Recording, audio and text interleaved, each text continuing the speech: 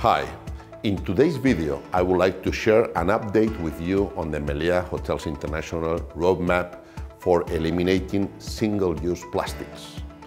This is an objective for society in general and one to which travel companies can make a major contribution.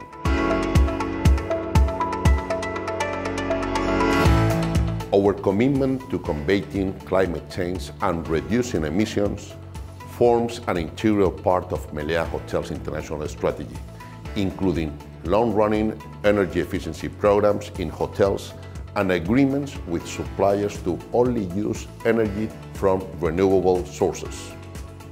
We are the third most sustainable hotel company in the world according to the ranking prepared for the Dow Jones Sustainability Index, and as a company, since 2015, we have also assumed the objectives of the Paris Climate Agreement.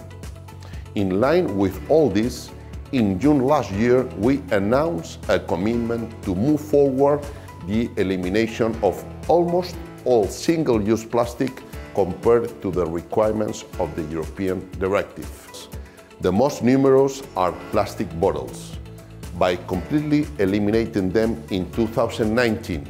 Meliá alone will avoid the use of 22 million bottles and the emission of 15 tons of CO2 into the atmosphere caused by waste management.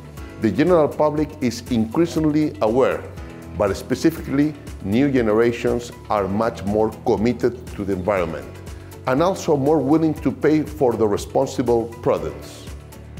So, eliminating plastics is nowadays also positive for business.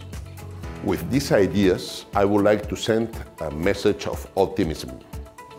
Eradicating single-use plastic is definitely urgent and essential for reducing CO2 emissions and for the survival of our oceans. But it's also only possible if we truly believe in it and are able to change our customer culture.